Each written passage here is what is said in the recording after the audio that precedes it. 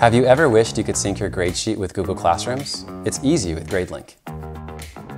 Whether you're using a Google Classroom account tied to your Gmail account or a school email account, you can sync it with GradeLink. When the sync is completed, grades and assignments from Google Classroom will appear in your GradeLink account.